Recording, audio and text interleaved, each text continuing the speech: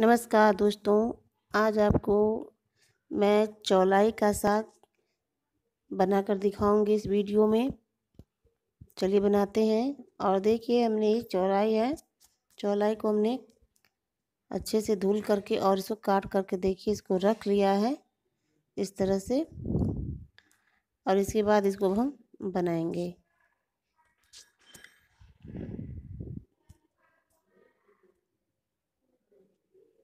कढ़ाई गरम कर लिए हैं, इसमें डाल दिए हैं तेल और तेल जब गरम हो जाएगा, इसमें डाल देंगे लहसुन और मिर्चा।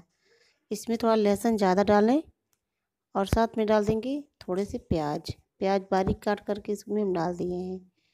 इसको हम हल्का सा ब्राउन भून लेंगे प्याज को।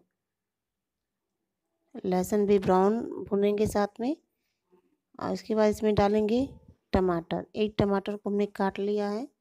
और इसमें डाल दिया है। इसके ऊपर थोड़ा सा नमक डाल देंगे।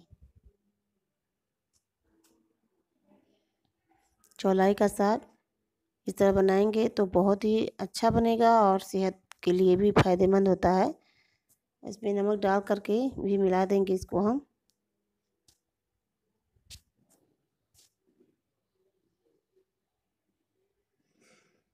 अब इसके बाद जो हमने चौलाई काट करके रखा हुआ है, उसमें इसमें डाल देंगे। थोड़ा पहले डालेंगे और इसको थोड़ा सा हम चला लेंगे। थोड़ा सा जो प्याज, लहसुन है, उसको ऊपर कर लेंगे और मिला देंगे इसमें। जिससे जो नीचे से पकड़े ना, इसलिए इसको थोड़ा सा हम चला लेंगे।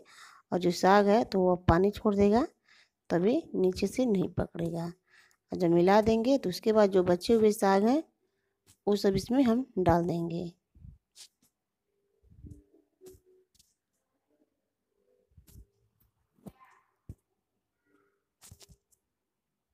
देखिए, बचे हुए साग को हमने इसमें डाल दिया है।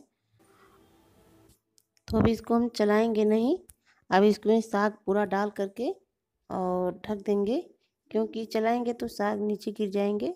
तब इसको ढक देंगे और जब साग पानी छोड़ देगा, तब इसको हम चलाएँगे।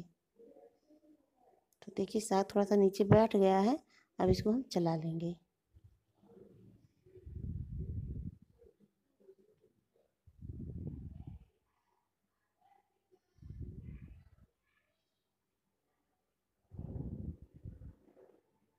चौलाई का साग बेहद फ़ायदेमंद होता है सेहत के लिए। आप लोग ज़रूर घर पे ही बनाएँ इसको। और बहुत लोग बनाते हैं, बोलते हैं अच्छा नहीं बनता है, इस तरह से बनाएँगे, ज़रूर अच्छा बनेगा।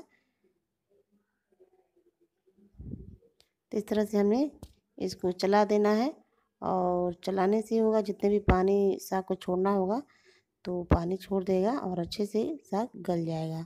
तो इसको हम बीच बीच में चलाते रहना है। अब इसको थोड़ा हम और फिर ढक देंगे, यानी इसको ढक करके दो दो मिनट पे इस पर चलाते रहना है। अब हमने देखिए साग को तैयार कर लिया है। अब ये फिर हम इसको चला कर दिखा दे रहे हैं। देखिए हमारे साग अच्छे से पक गए हैं। उम्मीद है आप लोगों को ये रेसिपी ज़रूर पसंद आई होगी।